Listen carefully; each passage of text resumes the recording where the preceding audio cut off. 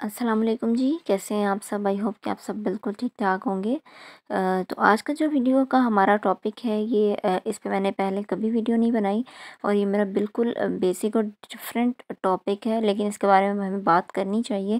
Then basic से skin care facts बताऊँगी आपको, जिनको अगर आप फॉलो करें तो आप अपनी स्किन को बहुत ज़्यादा हेल्दी और अच्छा बना सकते हैं।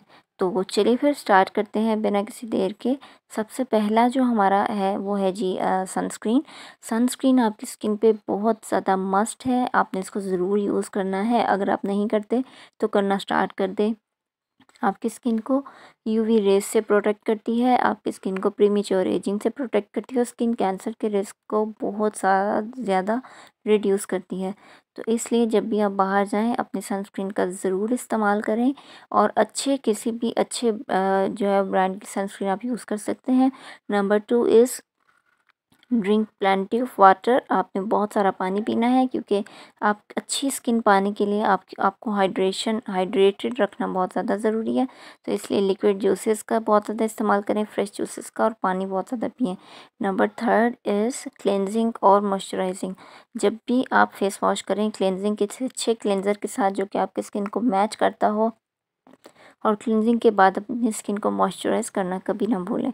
Number four is a balance diet आपने अपनी डाइट का बहुत सारा ख्याल रखना है, क्योंकि आप जितने मर्ज़ी महँगे प्रोडक्ट यूज़ कर लें, लेकिन अगर आपकी डाइट अच्छी नहीं है तो आपकी स्किन पे कोई फ़ायदा नहीं देंगे। इसलिए एक बैलेंस्ड डाइट लें, जिसमें वाइटामिन हों, एंटीऑक्सीडेंट्स हों, जो कि आपकी स्किन को हेल्दी बनाएँ, और ताकि आप जो इंटरनली जब फिट होंगे तो आपकी जो स्किन है, वो ऑटोमेटिकली बहुत ज़्यादा अच्छी हो जाएगी। नंबर फाइव इज़ अपनी स्किन के बारे में जानिए कि आपकी स्किन टाइप क्या है। इसके बारे में बहुत सारी वीडियोस आपको यूट्यूब पे मिल जाएँगी।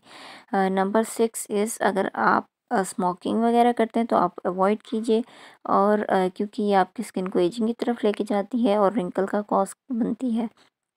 Number seven is stress affect skin अगर आप बहुत ज़्यादा स्ट्रेस लेते हैं छोटी छोटी बात पर परेशान हो जाते हैं और जो है वो हाई स्ट्रेस लेवल रहता है आपका तो उससे आपको बहुत ज़्यादा स्किन इश्यूज़ हो सकते हैं, जैसे एक्नी और एक्सिमा वगैरह और बहुत ज़्यादा स्ट्रेस लेने की वजह से मेंटली भी आप जो है परेशान रहते हैं और स्किन भी आपकी ख़राब होना शुरू हो जाती है। नंबर एट इज़ आपने जो है वो अपनी स्किन की जेंटल केयर करनी है, यानी आपने हार्श स्क्रबिंग से एक्सेसिव यूज़ ऑफ़ प्रोडक्ट्स आपने उससे इज्तनाब करना है अवॉइड करना है।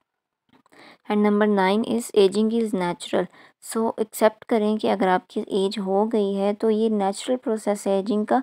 तो इसको कम करने के लिए प्रॉपर करने के लिए कोई भी मेडिसन और प्रोडक्ट नहीं है।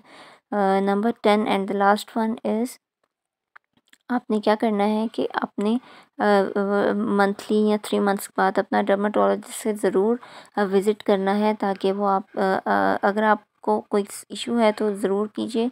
और वैसे भी तीन छः महीने बाद आप ज़रूर एक डर्माटोलॉजिस्ट का चक्कर लगा लें, ताकि वो आपको जो आपकी स्किन चल रही है नाव डेज़ उसके मुताबिक आपको चीज़ें प्रोडक्ट्स वगैरह जो है वो रिकमेंड कर सके।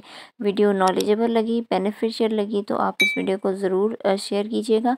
If you are new on my तो please subscribe my channel thanks for watching till the next video Allah हाफिज़।